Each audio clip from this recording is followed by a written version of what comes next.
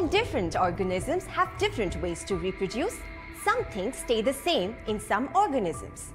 Plants, for example, can be male or female, or they can be both. So when we focus on sexual reproduction, how different are we really from plants? Let us explore what happens in sexual reproduction. Sexual reproduction is characterized by a chain of events starting from the formation of gametes,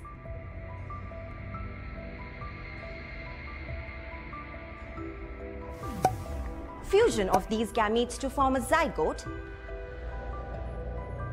and finally culminating into the development of the zygote to form an offspring. As such, the events in the entire cycle of sexual reproduction can be categorized as pre-fertilization events, fertilization, and post-fertilization events. The pre-fertilization events are initiated by gametogenesis, which is the formation of male and female gametes. Certain algae produce gametes which are structurally similar. Such gametes are called isogametes or homogametes. In haploid organisms like algae, gametes are produced by mitosis. In diploid organisms like human beings, gametes are produced by meiotic division of meiocytes. Human beings produce dissimilar gametes called heterogametes. Here, the female gamete is called ovum or egg, while the male gamete is called a sperm. Human beings are referred as unisexual organisms as male and female reproductive organs are borne by different individuals. Animals like earthworms are called hermaphrodite or bisexual as they exhibit presence of both male and female reproductive organs in a single individual. In plants like pine, the reproductive organs, both male and female, are separate but are found on the same plant. They are thus referred to as monoecious plants. While Marchantia is a dioecious plant, as the male and the female thallus or gametophytes in it are present separately. The male gametophyte produces the sperms or antherozoids, which travel to the female gametophyte through the medium of water.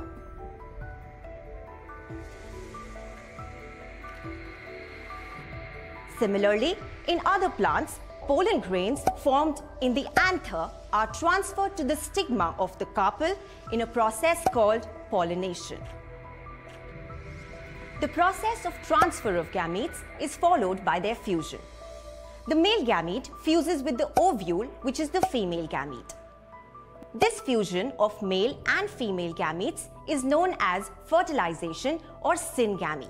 Since the process of fertilization occurs inside the plant body, it is referred to as internal fertilization. Same is the case with animals like human beings where fertilization occurs within the body of the organism. And this is called internal fertilization. In fish and other amphibians, fertilization occurs outside the body of the organism. This type of fertilization is called external fertilization. Honeybees exhibit a special mode of reproduction wherein the female gamete develops into a new offspring without the process of fertilization. This phenomena is known as parthenogenesis.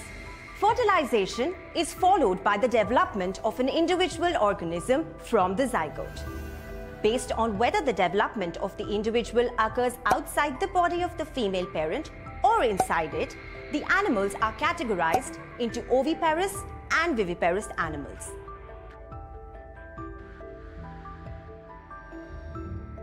In oviparous animals like amphibians, the fertilized eggs hatch into tadpoles or young ones. These tadpoles undergo changes and eventually develop into mature individuals. In viviparous animals like human beings, the development of young ones occurs inside the body of the female organism through embryogenesis. After attaining a certain stage of growth, the young ones are delivered out of the female's body.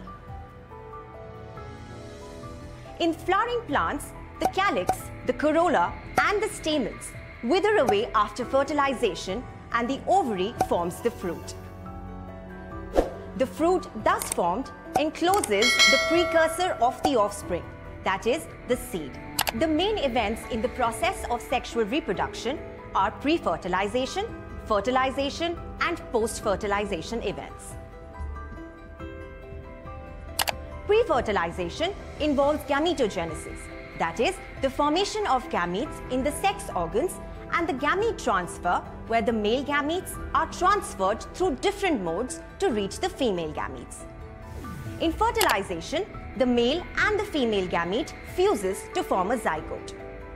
Post-fertilization is characterized by the development of the zygote into the full-fledged offspring.